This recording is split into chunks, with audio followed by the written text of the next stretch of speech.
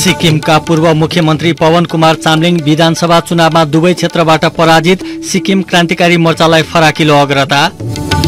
संघीय संसदका दुवै सदनमा आगामी आर्थिक वर्षको बजेटबारे छलफल सुरु गृहमन्त्री लामिछानेले दिएको अभिव्यक्तिबारे नेपाली कङ्ग्रेसद्वारा प्रधानमन्त्रीसँग जवाफ माग। चीनको मानवरहित अन्तरिक्ष यान चन्द्रमामा सफलतापूर्वक अवतरण।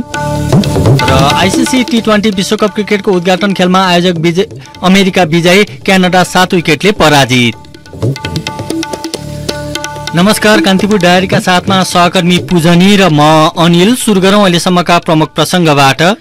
सिक्किमका पूर्व मुख्यमन्त्री पवन कुमार चामलिङ विधानसभा चुनावमा पराजित हुनुभएको छ। अप्रेल उन्नाइसमा भएको विधानसभा चुनावमा पोकोल कामराङ विधानसभा क्षेत्रमा सिक्किम डेमोक्रेटिक फ्रन्टका प्रमुख समेत रहेका पूर्व मुख्यमन्त्री चामलिङ सिक्किम क्रान्तिकारी मोर्चाका भोजराज राईसँग पराजित हुनुभएको हो। पच्चीस वर्ष सिक्किमको मुख्यमन्त्री रहेका चामलिङ राईसँग तीन हजार त्रिसठी मतको अन्तरले पराजित हुनुभएको हो। राईले आठ हजार सडतिस मत ल्याउँदा चामलिङले चार हजार नौ सय चौहत्तर मत प्राप्त गर्नुभयो। पूर्व मुख्यमन्त्री चामलिङ नाम्चेबुङ क्षेत्रबाट पनि पराजित हुनुभएको छ। सो क्षेत्रमा चामलिङ सिक्किम क्रान्तिकारी मोर्चाका राजु बस्नेतसँग पराजित हुनुभएको हो। बस्नेतले सात हजार एक सय पञ्चानब्बे मत ल्याउँदा चामलिङले चार हजार नौ सय उन्चालिस मत प्राप्त गर्नुभयो। यसैबीच सिक्किम विधानसभामा बत्तीस सीटका लागि भएको निर्वाचनमा सिक्किम क्रान्तिकारी मोर्चाले उन्तिस स्थानमा अग्रता हासिल गरेको भारतीय संचार माध्यमले जनाएका छन्। संघीय सरकारले गत मंगलबार सार्वजनिक गरेको आगामी आर्थिक वर्ष दुई हजार एकासी बयासीको बजेटमाथि संघीय संसदका दुवै सदनमा छलफल शुरू भएको छ। बजेटप्रति सत्तारूढ नेकपा एमालेकै असन्तुष्टिका बीच प्रतिनिधि सभामा आजदेखि छलफल शुरू भएको हो। यसैबीच बजेटमाथि छलफल शुरू हुनु अघि विभिन्न दलका सांसदहरूले मुलुकको समसामयिक विषय र जनसरकारका मुद्दाबारे धारणा राखेका छन्। त्यस्तै माथिल्लो सदन राष्ट्रिय सभा बैठकमा समेत बजेटमाथि छलफल भइरहेको छ। यसअघि बजेटमाथि विभिन्न दलका बजेट विभिन्न दलका बजेटको सकारात्मक र नकारात्मक दुवै पाटो केलाएर धारणा प्रस्तुत गर्न एमाले अध्यक्ष केपी शर्मा ओलीले आफ्ना पार्टीका सांसदहरूलाई निर्देशन दिनुभएको थियो। यता प्रधानमन्त्री पुष्पकमल दाहालले भने समाजवाद उन्मुख बजेट ल्याउन सफल भएको भन्दै बजेटको पक्षमा दृढतापूर्वक उभिन आफ्ना पार्टीका सांसदहरूलाई निर्देशन दिनुभएको छ।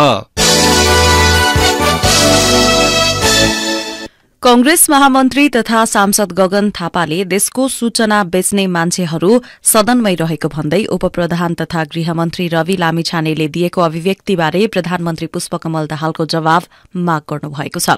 प्रतिनिधि सभाको बैठकको विशेष समयमा बोल्दै थापाले मन्त्री लामिछानेको सो अभिव्यक्ति कि त संसदबाट हटाउन नभएर त्यसको जिम्मेवारी लिई जवाफ दिन माग गर्नुभएको हो। उहाँले भन्नुभयो सूचना बेच्ने मान्छेहरू पनि सदनमा छन् भनेर गृहमन्त्रीले भन्नुभयो। सदनमा गएर बोलेपछि जवाफ दिनुपर्छ। सूचना बेच्नेलाई देशद्रोहको मुद्दा लगाउनुपर्छ। अब हामी चुप लागेर बसेर हुँदैन। गृहमन्त्री होइन प्रधानमन्त्रीसँग हिसाब किताब माग्नुपर्छ।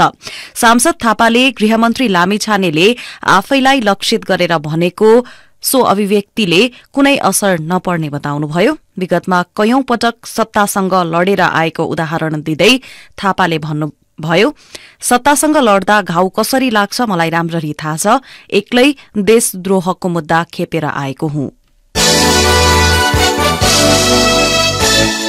भारतको बेङ्गलुरूमा खाना पकाउने ग्यास लिक हुँदा भएको दुर्घटनामा ज्यान गुमाउने नेपाली नागरिकको संख्या तीन पुगेको छ। दुर्घटनामा घाइते भएकी तीस वर्षीय प्रेमजला बोहराको पछिल्लो पटक मृत्यु भएको हो।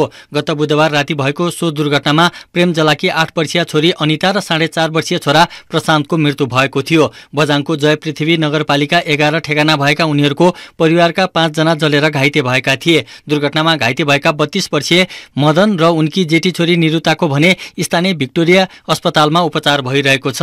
झ्याल नभएको कोठामा बसिरहेका उनीहरूको कोठामा ग्यास लिक भएको र सलाई बाल्ने क्रममा आगलागी भएको थियो। बोहराको परिवार विगत छ वर्षदेखि भारतमा बस्दै आएको थियो। नेपालको पर्यटन प्रवर्धनका लागि भन्दै विभिन्न देशका राजदूत एवं कूटनीतिक नियोगका प्रमुख पोखरा पुगेका छन्। चौहत्तरौं अन्नपूर्ण आरोहण दिवसका अवसरमा पोखरा पुगेका उनीहरूले कास्कीको माछापुच्छ्रे गाउँपालिकाको धम्पुसदेखि अस्तामसम्म पदयात्रा गर्दैछन्। पदयात्रामा अमेरिका बेलायत चीन इजरायल श्रीलंका पाकिस्तान थाइल्याण्ड थाइल्याण्डका राजदूत सहभागी हुने बताइएको छ। यस्तै संयुक्त राष्ट्रसंघीय विकास कार्यक्रम राष्ट्रसंघीय जनसंख्या कोष दक्षिण एसियाली क्षेत्रीय सहयोग संगठन सार्क सहितका कूटनीतिक नियोगका प्रमुख एवं प्रतिनिधि पनि सहभागी हुनेछन्। आठ हजार मिटर माथिको हिमालमा पहिलो पल्ट मानव पाइला परेको दिनको सम्झनामा नेपाल पर्यटन बोर्ड गण्डकी प्रदेश कार्यालयले दिवस मनाउन लागेको हो। कार्यक्रममा अन्नपूर्ण हिमाल आरोहण गरेका तीन पर्वतारोही पूर्णिमा श्रेष्ठ दावा योङजोम शेर्पा र लाक्पा डेण्डी शेर्पा सहित अन्य हिमाल आरोहण गरेका पर्वतारोहीलाई सम्मान गरिँदैछ। कान्तिपुर डायरीमा अब ब्रेकको पालो। कान्तिपुर डायरीमा अब बाँकी प्रसङ्ग। सरकारले कक्षा दस उत्तीर्ण गरेका विद्यार्थीलाई जीवन उपयोगी शिक्षा कार्यक्रम सञ्चालन गर्ने भएको छ। विद्यालय शिक्षालाई सिपमूलक बनाउन सो कार्यक्रम सञ्चालन गर्न लागि शिक्षा विज्ञान तथा प्रविधि मन्त्रालयले जनाएको छ।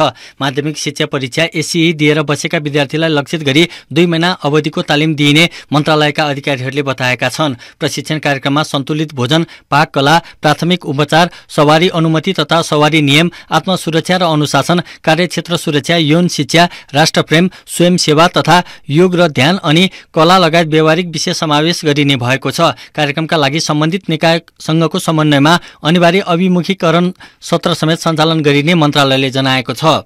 शैक्षिक सत्र दुई हजार एकासीमा अध्ययनरत विद्यार्थीका लागि जीवन उपयोगी शिक्षा कार्यक्रम सञ्चालन गर्न तयारी अघि बढाइएको मन्त्रालयका सूचना अधिकारी शङ्कर अधिकारीले जानकारी दिनुभयो।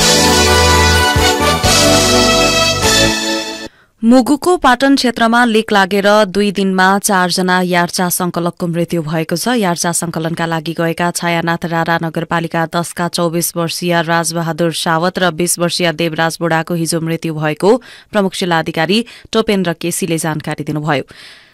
उहाँका अनुसार ठूलो कोइकीमा लेक लागेर सिकिस्त बिरामी परेका देवराज र राजबहादुरलाई उपचारका लागि मुगु स्वास्थ्य चौकीमा ल्याइएको थियो। त्यहाँ उपचार हुन नसकेपछि थप उपचारका लागि जिल्ला अस्पताल लैजाने क्रममा उनीहरूको बाटोमै मृत्यु भएको केसीले जानकारी दिनुभयो। त्यस्तै शुक्रबार लेक लागेर छायानाथ बाह्र शोभा गाउँका मुनबहादुर बुढा र सोबान बुढाको मृत्यु भएको थियो। सदरमुकाम गमगढीदेखि यार्चा संकलन क्षेत्र ठूलो कोइकी सानो कोइकी क्षेत्रमा संचार सम्पर्क स्थापित हुन नसक्दा संकलनकर्ताको अवस्था बुझ्न सुरक्षाकर्मी र स्वास्थ्य कर्मीलाई कठिनाई भइरहेको छ। नेकपा एमाले अहिलेसम्म उनासाठी जिल्लाको जिल्ला अधिवेशन सम्पन्न गरेको छ। एमालेको प्रचार विभागका प्रमुख राजेन्द्र गौतमका अनुसार जेठ मसान्तभित्र अधिवेशन सकाउनु पर्ने भएकाले अधिवेशन गर्न बाँकी जिल्लामा यही महिनाभित्र सक्न निर्देशन समेत दिइएको छ। अधिवेशन हुन बाँकी अठार जिल्लामध्ये सात जिल्लाको अधिवेशनको मिति तोकिएको छ भने अन्य एघारवटा जिल्लामा मिति तोक्न बाँकी रहेको छ।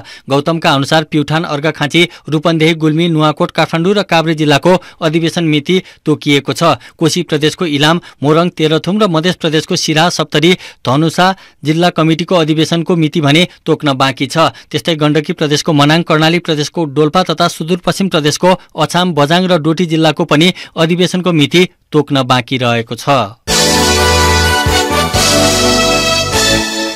स्रोत नखुलेको एक करोड़ रूपियाँ भन्दा बढ़ी नगद सहित सुनसरीबाट एकजनालाई सशस्त्र प्रहरीले पक्राउ गरेको छ। हरिनगर गाउँपालिका पाँचका सडतिस वर्षीय ईसा अन्सारीलाई एक करोड़ एक लाख रूपियाँ सहित सशस्त्र प्रहरीले पक्राउ गरेको हो। घुस्की नाकाबाट हरिनगरतर्फ जाँदै गरेको बा सोह्र च छयत्तर तेह्र नम्बरको कारको चार जाँच गर्ने क्रममा बोरामा लुकाई छिपाई राखेको सो परिमाण बराबरको नगद बरामद भएको सशस्त्र प्रहरीले जनाएको छ। बरामद नगर नगद कार र चालकलाई थप अनुसन्धानका लागि इटहरे स्थित राजस्व अनुसन्धान कार्यालयमा पठाइएको सशस्त्र प्रहरीले जनाएको छ। कान्तिपुर डायरीमा पुनः ब्रेकको पालो कान्तिपुर डायरीमा अब बाँकी प्रसङ्ग। अर्थमन्त्री वर्षमान पुलले आगामी आर्थिक वर्ष दुई हजार एकासी बयासीको बजेट ल्याउँदा स्रोत व्यवस्थापनमा ठूलो चुनौती देखिए पनि वस्तुवादी ढंगले बजेट आएको दावी गर्नुभएको छ। प्रतिनिधि सभाको बैठकमा आज आगामी आर्थिक वर्षको राजस्व र व्ययको वार्षिक अनुमानमाथि सामान्य छलफल प्रारम्भ गरियोस् भन्ने प्रस्ताव पेश गर्दै अर्थमन्त्री पुनले नागरिक स्तरमा देखिएका निराशा र अर्थतन्त्रको शिथिलता चिर्ने गरी बजेट ल्याइएको दावी गर्नुभयो। उहाँले भन्नुभयो युवालाई देशभित्रै भविष्य खोज्ने वातावरण बनाउने गरी बजेट आउँछ कि आउँदैन र निजी क्षेत्रको मनोबल उकास्न बजेटले सक्छ वा सक्दैन भन्ने थियो तर स्रोतको संकुचनका बावजुद पनि वस्तुवादी बजेट आयो भन्ने प्रतिक्रिया आइरहेका छन् निजी क्षेत्रले सन्तुलित बजेट आएको भनेका छन्। त्यस्तै मन्त्री पुनले आगामी आर्थिक वर्षको बजेटका लागि निवर्तमान अर्थमन्त्री डाक्टर प्रकाश शरण महतले संसदमा प्रस्तुत गरेको सिद्धान्त र प्राथमिकताका आधारमा बजेट ल्याइएको बताउनुभयो। विनियोजन कुशलता र करका दर हेरफेर गर्दा आवश्यकता र औचित्यको गम्भीर विश्लेषण गरेर मात्र ती प्रावधान राखिएको मन्त्री पुनले दावी गर्नुभयो। कान्तिपुर डायरीमा अब अन्तर्राष्ट्रिय प्रसंग। चीनले मानवरहित अन्तरिक्ष यान चन्द्रमामा सफलतापूर्वक अवतरण गराएको जनाएको छ।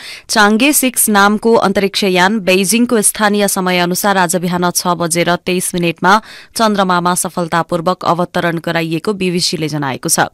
चन्द्रमाको दक्षिणी ध्रुव एन एटकेनबाट चट्टान र माटोको नमूना संकलन गर्ने उद्देश्यले यान पठाइएको जनाइएको छ। यसबाट चन्द्रमाको निर्माण र सौर्यमण्डलमा पानीको उत्पत्तिबारे सम्भावित जानकारी पाउन सहयोग पुग्ने जनाइएको छ। चन्द्रमाको टाढाको भागमा अन्तरिक्ष यानसँग संचार अत्यन्त चुनौतीपूर्ण भएकाले सफल अवतरणलाई चीनका चीनको लागि महत्वपूर्ण उपलब्धि मानिएको छ। यानले संकलन गरेका नमूनाहरू चीन र विश्वभरका वैज्ञानिकहरूद्वारा विश्लेषण गरिने जनाइएको छ। प्यालेस्टाइनमा जारी युद्ध अन्त्यका लागि कतार इजिप्ट र अमेरिकाले संयुक्त रूपमा इजरायल र विद्रोही समूह हमासलाई आग्रह गरेका छन्। अमेरिकी राष्ट्रपति जो बाइडेनले युद्ध अन्त्यका लागि अघि सार्नुभएको प्रस्ताव अनुसार तीनवटा मुलुकले संयुक्त रूपमा स्व आग्रह गरेको अन्तर्राष्ट्रिय सञ्चार माध्यमहरूले जनाएका छन् गाँजाको रफा क्षेत्रमा स्वास्थ्य सेवा ठप्प हुँदै आएको लगायत मानवीय सङ्कट अन्त्यका लागि युद्ध रोक्न सुझाइएको हो। विश्व स्वास्थ्य संगठन डब्लुएचओले समेत रफामा स्वास्थ्य सेवा बन्द हुन लागेको चेतावनी दिइसकेको छ। त्यस्तै मे महिनामा मात्र दस लाख बढी मानिसहरू विस्थापित भई गाँजाको दक्षिणी क्षेत्रमा गएको डब्लुएचओले जनाएको छ। अमेरिकी राष्ट्रपति बाइडेनले युद्धविराम तथा दुवै पक्षबाट बन्दी रिहा गर्ने लगायत सहमति गरेर युद्ध अन्त्य गर्ने प्रस्ताव अघि सार्नु भएको थियो। यसैबीच इजरायलका प्रधान प्रधानमन्त्री बेन्जामिन नेतान्याहुले अमेरिकाको दुवै सदनमा सम्बोधनका लागि गरिएको प्रस्ताव स्वीकार गर्नुभएको अन्तर्राष्ट्रिय सञ्चार माध्यमहरूले जनाएका छन्। इजरायल र विद्रोही हमासबीच आठ महिनादेखि जारी युद्धका कारण छत्तीस हजार तीन सय भन्दा बढी प्यालेस्टाइनीको मृत्यु भइसकेको छ। तिरासी हजार चार सय भन्दा बढी व्यक्ति घाइते भएका छन्। त्यस्तै हमासका आक्रमणका कारण एक हजार एक सय उनाचालिस इजरायली नागरिकको मृत्यु भएको त्यहाँका अधिकारीहरूले दावी गरेका छन्। कान्तिपुर डायरीमा अब खेल प्रसंग आइसिसी टी ट्वेन्टी विश्वकप क्रिकेट प्रतियोगितामा आयोजक अमेरिकाले विजयी शुरूआत गरेको छ। डालास स्थित ग्रान्ड प्रेरी क्रिकेट रंगशालामा भएको उद्घाटन खेलमा अमेरिकाले क्यानाडालाई सात विकेटले हराएको हो। क्यानाडाले दिएको एक सय पञ्चानब्बे रनको लक्ष्य अमेरिकाले सत्र ओभर चार बलमा तीन विकेटको क्षतिमा पूरा गर्यो। यसअघि पहिले ब्याटिङ गरेको क्यानाडाले निर्धारित ओभरमा पाँच विकेट गुमाएर एक सय चौरानब्बे रन बनाएको थियो। यसैबीच आजै हुने दोस्रो खेलमा वेस्ट इण्डिजले पपुवा न्युगिनीको सामना गर्नेछ। यी दुई टोली बीचको खेल नेपाली समयअनुसार राति सवा आठ बजे शुरू हुनेछ। नेपालले भने पर्सि मंगलबार नेदरल्याण्ड्स विरूद्ध खेलेर टी ट्वेन्टी विश्वकप यात्रा शुरू गर्नेछ। नेपाल पुलिस क्लबको महिला टोलीले काठमाडौँमा जारी आठौं पीएम एनबिए भलिबल लिगमा लगातार दोस्रो जित हासिल गरेको छ। त्रिपुरेश्वर स्थित राष्ट्रिय खेलकुद परिषद राखेपको कवर हलमा आज भएको खेलमा पुलिसले चन्द्रगिरी नगरपालिका न्यू डायमण्ड महिला टिमलाई तीन एकले पराजित गरेको हो। पुलिसले उन्नाइस पच्चिस पच्चिस बाइस पच्चिस बाइस र उनातिस सत्ताइसले खेल आफ्नो पक्षमा पारेको हो। पहिलो दिन हिजो पुलिसले आर्मीलाई तीन दुईको सेटमा पराजित गरेको थियो। न्यू डायमण्डले भने लगातार दोस्रो हार बेहोरेको हो। पहिलो खेलमा डायमण्ड एपिएफसँग तीन दुईले पराजित भएको थियो। त्यसअघि दिनको पहिलो खेलमा एभरेस्ट भलिबल क्लबले विजयी सुरुवात गरेको थियो। एभरेस्टले कर्णाली प्रदेशलाई पच्चिस सोह्र पच्चिस आठ पच्चिस दसले पराजित गर्यो। पुरुषतर्फ आज चार खेल हुने भएका छन्। र रियल मड्रिडले च्याम्पियन्स लिग फुटबलको उपाधि जितेको छ। लन्डनको वेम्बली स्टेडियममा गैराती भएको फाइनलमा रियल मड्रिडले बोरुसिया डटमण्डलाई दुई शून्य गोल अन्तरले हराएको हो। दुवै गोल दोस्रो हाफमा भएको थियो। पहिलो हाफमा दुवै टोलीले राम्रो अवसर बनाए पनि गोल गर्न सकेनन्। डानी कार्वाजालले खेलको चौहत्तरौं मिनटमा हेड मार्फत गरेको गोलबाट रियलले एक शून्यको अग्रता लिएको थियो। खेलको त्रियासीौं मिनटमा भिनिसियल जुनियरले दोस्रो गोल गर्दै रियललाई दुई शून्यको अग्रता दिलाए। रियल मड्रिडले युरोपेली च्याम्पियन्स लीग फुटबलको उपाधि जितेको यो पन्ध्रौं पटक हो।